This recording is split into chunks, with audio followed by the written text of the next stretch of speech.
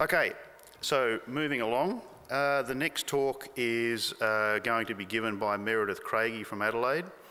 Um, Meredith uh, is a specialist pain medicine physician and Vice Dean of the Faculty of Pain Medicine of the Australian and New Zealand College of Anaesthetists. Uh, Meredith graduated in medicine from the University of Adelaide and trained in anaesthesia in Adelaide, followed by two years in the UK doing subspecialty training in paediatrics. She returned to the Adelaide Children's Hospital as a staff anaesthetist in 92, where she was gradually drawn into managing children with complex pain. A move to Flinders Medical Centre in 2004 to finish a Master of Pain Medicine degree while working in the Department of Anaesthesia ended 10 years later when she was lured into full-time pain medicine with the team in the pain management unit at the Royal Adelaide Hospital. Meredith joined uh, our editorial team at the Journal last year after being a reviewer for 20 odd years. Her interests include the safe use of opioids, paediatric anaesthesia and pain management, transition from acute to chronic pain, and the role of medicinal, medicinal cannabis in managing persistent pain. Some of the more challenging aspects of Meredith's transition from paediatric anaesthesia to adult pain medicine have been the overlap with addiction medicine and, of course, mental health disorders. Uh, medicinal cannabis is one of the latest challenges Meredith is looking at. And Meredith is going to speak to us today about the safety of buprenorphine and other long-acting analgesics for acute pain management. Thank you, Meredith.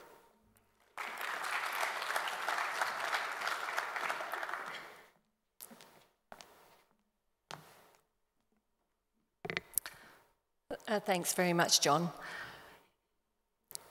So you can all relax. I'm not going to get you to stand up, put your hands up, do any complex memory tasks, um, but I hope to challenge you in a slightly different way.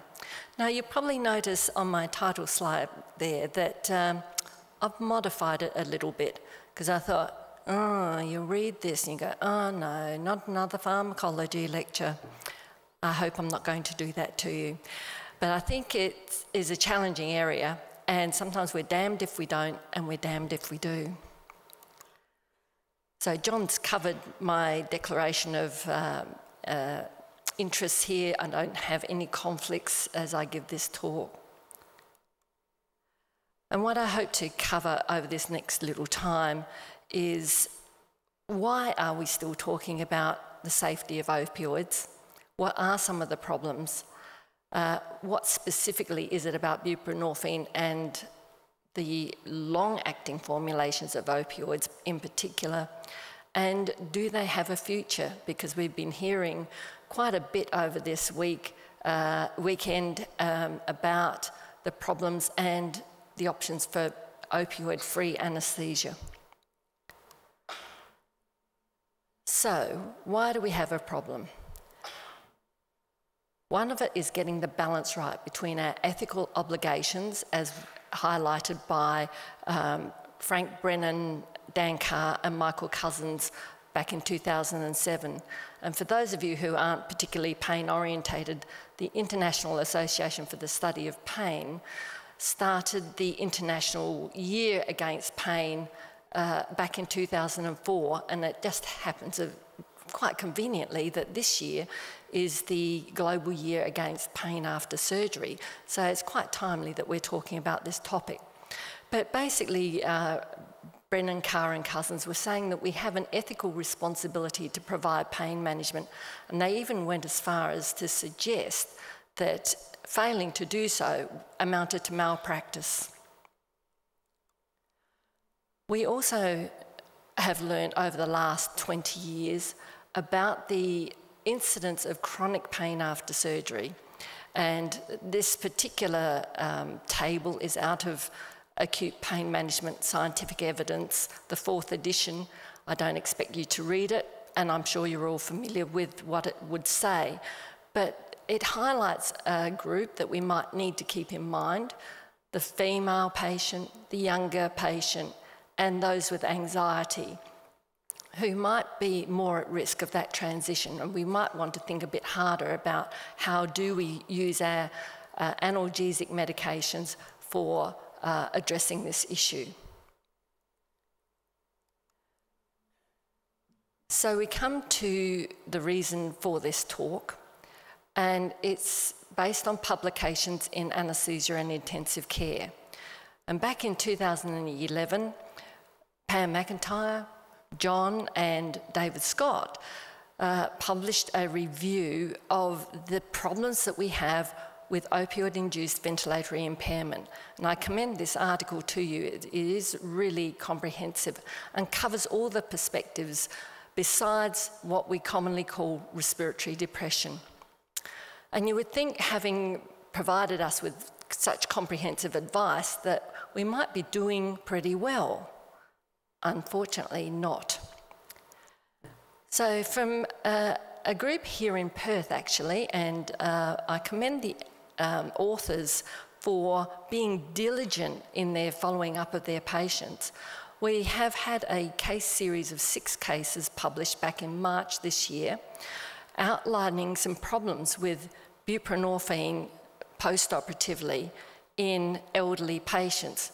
I must say I was a little concerned about their definition of elderly because the youngest one was 68, and that's getting a little bit close to where I'm at these days, and I'm worrying about my cognitive impairment, Nat. so, but they're an interesting series, and I'm going to come back to them. But I also have been reading another reputable journal, and this is the Weekend Australian, just from a month ago, that uh, details the problem that's emerging in the USA of prescription opioid misuse.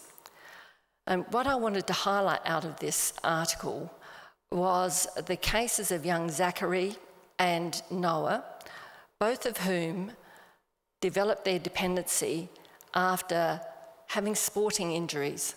They were both um, highly um, um, successful young sportsmen. They had an injury they ended up in hospital having some surgery and opioids for their post-operative pain management, and lo and behold, they developed an addiction problem. And it very nicely details the transition uh, into um, drug addiction, dependence, and tragically, um, young Zachary died. And the other lad has lifelong addiction and will never reach his potential.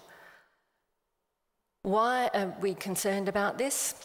It's because 6% of patients are still on a new opioid six months after their surgery. So they've been opioid naive people, come in and had their surgery, and it didn't need to be necessarily uh, major surgery, complicated surgery, uh, but they are still using opioids six months later. What we also know from other uh, information in the chronic pain area is that if you are still on your opioid at one year after surgery, you are unlikely to ever get off it. So there's sort of problems in the four domains. We see a disconnection from the primary purpose in why that person is still on the medication, and a lot of it may be around preventing withdrawal after it's lost its efficacy. We also see in our older patients an increased risk of falls, cardiovascular events, and all cause mortality risk. And I think these are important things for us to be uh, cognizant of. Also important for us is their increased risks at their next surgery. And one of the things that persistent opioid use does is impair immune function. So certainly in the chronic pain area, we see an increased risk of uh, important infections like life-threatening pneumonia um, and other infections of unusual um, um, fungi, bacteria in our patients. And this may impact on what's happening for your patient in the operating theatre. But I digress. And of course, addiction is an issue. So you might say, ah, but those were American cases, you know, we know they've got the opioid epidemic. Well, in Australia, we have the Pennington Institute and they publish an annual report of um, the uh, mortality related to all types of drug overdose. They collect data from the Australian Bureau of Statistics and the coroner's courts. And what we see, if you look at the red line, is a rising rate of death of Australians due to drug overdose. And if you look at the green line, that's mortality from car accidents, that is going down. And the number of deaths from drug overdose is now double our annual uh, car accident death rate. That is rather an alarming um, statistic. Now, you recall I mentioned that we're concerned about the young female anxious patient. Well, this is a different group. These are mostly middle aged men at a rate of two to one woman. And in fact, the uh, data now indicates that the death rate from illicit drugs in the young age group is going down and has, halved over the last five years. So that's some good news. The bad news is that our middle aged men are inadvertently dying. And the scary thing is that about 74% of these deaths are accidental. And opioids are the main culprit. So uh, on the um, graph there, you can see the red line, that's all opioids. The statistics are actually collected in uh, two groups. So the ABS collects statistics on um, clustered together of oxycodone, morphine, and codeine. And then they collect uh, another set of data on fentanyl, pethidine, and tramadol. And over the last 10 years, the uh, rate of uh, deaths from fentanyl has increased by nine times. And that is mostly due to um, uh, increasing use of uh, misuse of fentanyl in the community. So we've got a problem. Why are these drugs a problem? Why are they challenging to use? We know that there are a number of issues going on there. Uh, traditional teaching, of course, is post-op pain relief, is opioids with a few other things. There are a wide range of formulations available now, and, and these are all being used as people are trying to do better, and we can't blame them for that. But we know that they have complex mechanisms of action. We know now that opioids can be pro nociceptive as well as anti nociceptive, and they have quite variable pharmacokinetics depending on which drug you've used and what formulation you're using. We've heard a little bit from um, Professor Michael Veltman earlier in the weekend about uh, some of the changes that are seen in chronic pain, but we know there's neuroimmune adaptation going on. It happens fairly quickly in, for some people, and it's related to uh, glial cell sensitisation.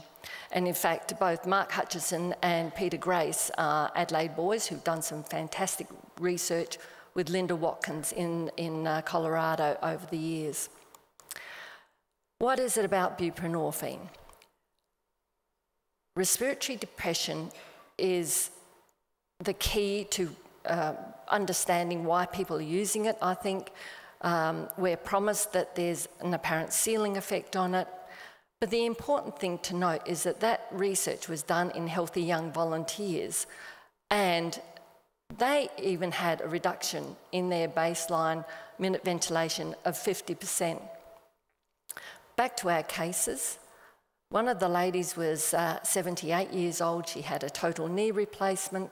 She had a sciatic nerve catheter placed with some clonidine put in with the ropivacaine. She had a femoral nerve catheter placed and 300 micrograms of buprenorphine put in with that uh, ropivacaine uh, propofol infusion for sedation, and then post-operatively, the sciatic catheter was removed, the femoral one continued with 2% ropivacaine, at six mils an hour, and um, she was started on a Norspan patch an hour after she uh, got out of theatre. Now, what happened over the next 24 hours was uh, the next day her femoral nerve catheter was removed, um, and of course the block was starting to wear off. She had a Norspan patch on, but you can see from the graph there that it's going to take maybe 24 hours to be uh, kicking into having a good analgesic effect. It wasn't working too well for her, so she ended up having um, another 12 and a half milligrams of oxycodone over several hours. That wasn't working so well. She had some buprenorphine and she received five doses of 200 micrograms over 10 hours. And by 48 hours post op, she was very, very obtunded. And that was six hours after the last dose of buprenorphine.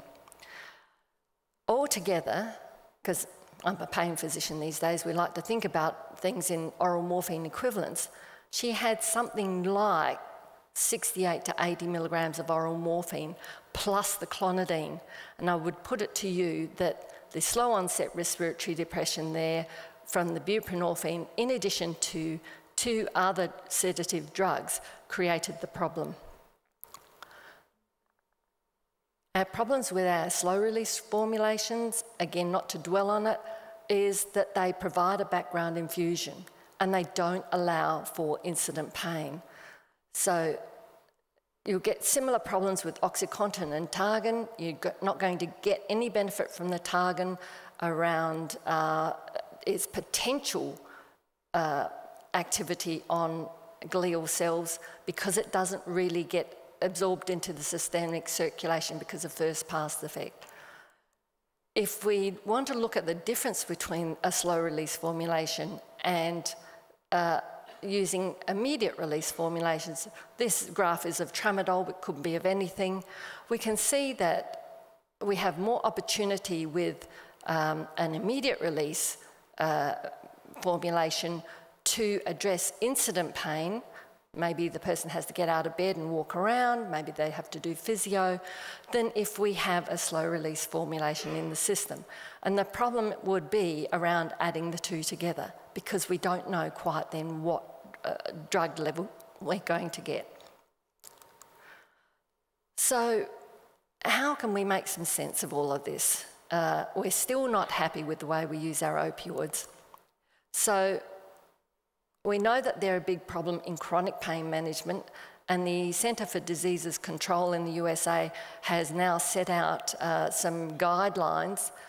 Uh, and this particular article is a summary of those, making some really key points about the opioids. But the important thing is that they had three key principles, and I think we need to keep them in mind when we're thinking about um, acute pain management as well. Non opioid therapy is preferred, we know that, but sometimes we need opioids for managing severe pain. We want to use the lowest possible effective dose, and again, we know that. We try to monitor for that, we try to keep people comfortable. We want to exercise caution when we're prescribing. Well, again, we know these are potentially dangerous drugs, but I think the important thing is about mitigating risk. We can recognise that these are potentially um, problematic, but we need to put in place risk management. And that might be around mixing other sedative drugs, and it might be around the monitoring.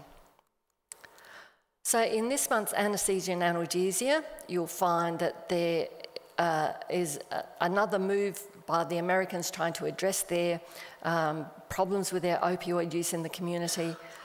And in fact, the editorial suggests that anesthesiologists, that might be the new term for us yet, uh, I might tell you, uh, and other pain medicine specialists are uniquely positioned to develop, implement, and coordinate a comprehensive perioperative analgesic plan that actually continues into the discharge and convalescence period. And I would put it to you that we need to step outside of our operating theatres even step outside the hospitals and look at what important role can we have here. So we've learnt some lessons from uh, our publication in anaesthesia and intensive care. We need to be aware about this concept of an apparent ceiling effect. We know that with buprenorphine, using naloxone to reverse it can be tricky. You might need multiple doses, and in fact, three out of the six of these patients needed infusions and uh, quite prolonged high dependency or even an intensive care stay. So we have to be mindful that all opioids can cause opioid induced ventilatory impairment, particularly mixed with other things.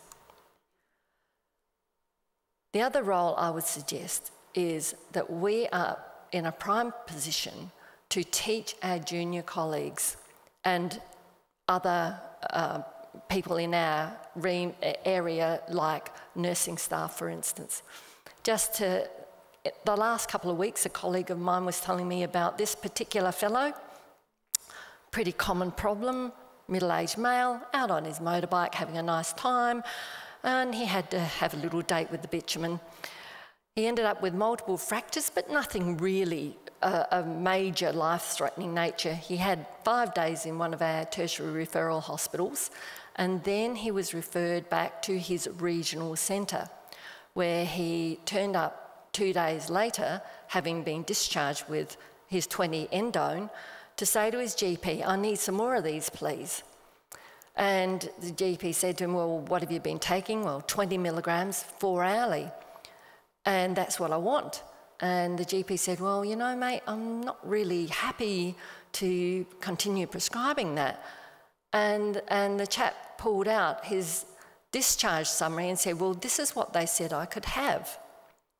His discharge prescription simply said oxycodone, 20 milligrams, four hourly, duration one month, taper. Well, what did that mean? The patient read it that he could have that oxycodone at that dose, at that rate, for the whole month.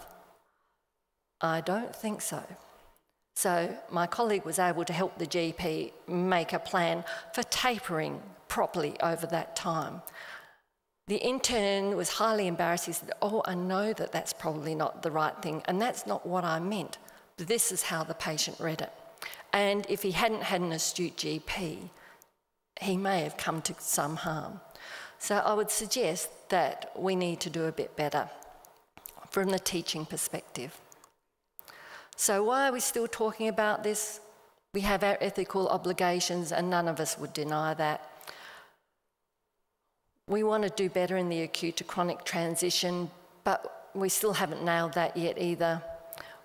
What are our problems? It's around safety and poor outcomes still. Uh, what are the issues of our medications? I'm going to, not going to remind you of the pharmacology, you know that. Do we still have a future for opioids? Of course we do. I don't think we're ready to be opioid free in all domains yet but we need to personalise their use and be more aware of these risk factors, such as Natalie suggested. Cognitive impairment and mixing sedative drugs with the opioids is fraught with hazard.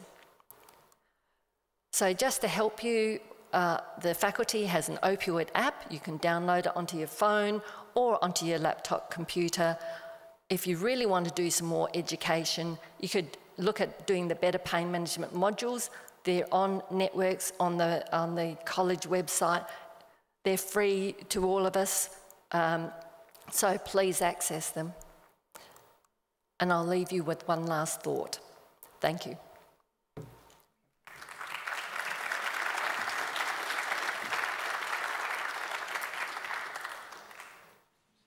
Thank you very much, Meredith. Um, Again, we've got one or two minutes left uh, for some questions. Uh, would anybody like to ask? Hi, Lynn Rainey from Adelaide. Thanks, Meredith. Fabulous presentation. Um, I think that one of the things that we I notice that several of my colleagues say is that the problem of long-term opiate prescribing is not our problem. We actually send them home with one script, there's only 20 of endone, um, and it's actually the GP's problem which is what a lot of us say. Um, you know, I like your response to that. I would say, uh, again, we have a role in educating GPs. I can tell you from my work these days, there is a big need for GP education. And in fact, we just recently had some discussions through the faculty with the um, Federal Minister of Health about opportunities for improving knowledge in, in primary care. Uh, alarmingly and very sadly for me is South Australia is one of the high opioid prescribing areas, particularly in our regional areas and our northern suburbs. There is a desperate need for education and I think we should use every opportunity to do that. So giving clearer instructions to GPs when you're discharging your patient uh, with some information around tapering that opioid and saying they should not be continuing on this. And I think uh, educating our surgical colleagues as well, because do they inquire when they see the patient six weeks post-op? Probably not. They just make an assumption that the patient's not using their opioid and they may well still be on those medications. So I think it's, it's sharing our knowledge. You know, we are prime in a prime position. We have the knowledge.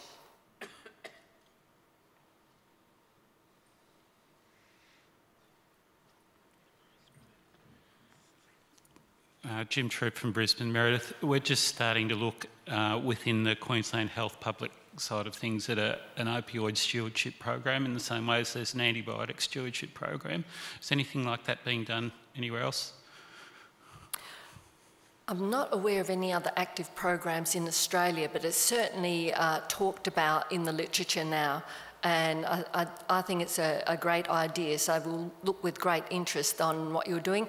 And you could send us some information. We might publish it in anaesthesia and intensive care.